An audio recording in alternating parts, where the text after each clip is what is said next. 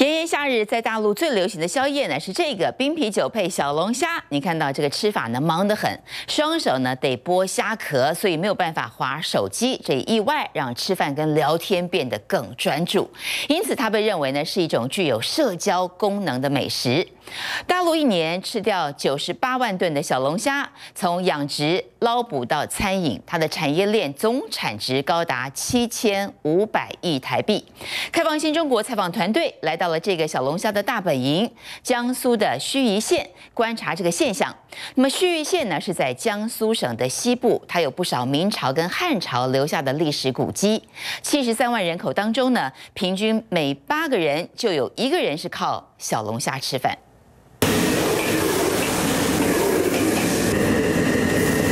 正常烧的话，应该在二十分钟啊，马上就可以出锅了啊。大火快炒，再加入独特秘方，经过二十分钟焖煮，大陆国民小吃小龙虾热腾腾上桌。每年家人如果路过这边，也会带回家给我吃啊。这盱眙龙虾不一直都比较有名吗？从哪里过来的？从河北，河北邯郸。从河北到江苏盱眙，足足有七百多公里，相当于台湾头到台湾尾，来回走一趟，就是要尝尝正宗小龙虾滋味。一个月吃个四五次吧。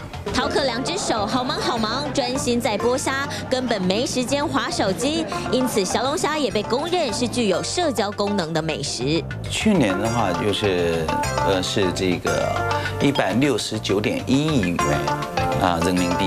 那今年肯定是会升的，然后因为现在吃龙虾的非常的庞大一一个人群。全大陆小龙虾的店家高达一万七千多家，比麦当劳两千四百家、肯德基五千三百家的数量多上三到七倍。庞大的市场需求也让小龙虾之都盱眙从默默无闻变身特色小镇。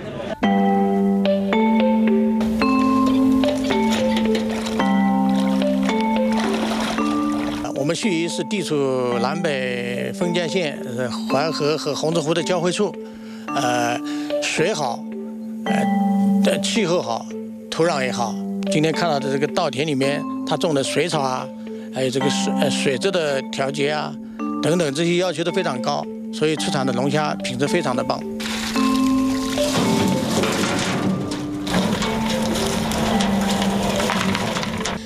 七年，中国大陆的小龙虾消费量达到了九十七点九五万吨。市面上看到的小龙虾，九成以上全都是靠人工养殖。我现在在的地方呢，就是在江苏的盱眙，这里可是传说中的小龙虾之都。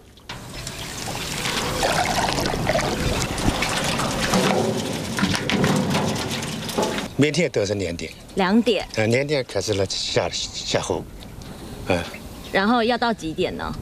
一般都在六点、六点半、七点，一千斤，就这个位，这个位置里一千斤。每天捞一千斤。一般捞龙虾必须趁着夜里赶工，因为等到天亮了，气温飙高，小龙虾很有可能会被热晕。为了讲究新鲜快速，天一亮，小龙虾就得运往大陆各省产地直送，是为了确保盱眙龙虾的品质。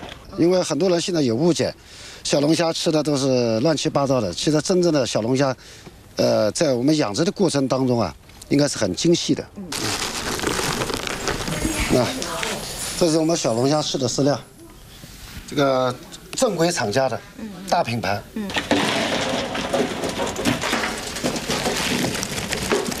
采用虾稻共生的模式来养小龙虾，龙虾脱的壳成为有机肥料。不养龙虾时，水田则是用来种稻，极致利用又能兼顾生态。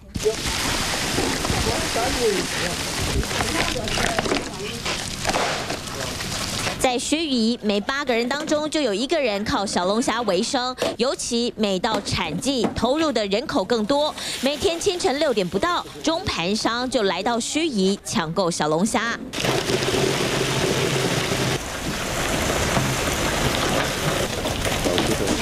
姨们的手忙着将小龙虾分类，个头越大，在市场上就能卖出好价格。这就是一两向上的了，这个这个箱了，最起码是一两四。一两次。对，那目前它价格是怎么样？在产地价？